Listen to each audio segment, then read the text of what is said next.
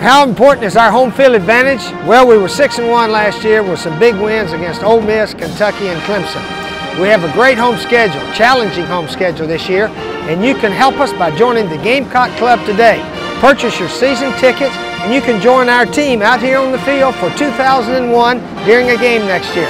This is your chance to see 2001 as the players see it right here at Williams-Brice on the field.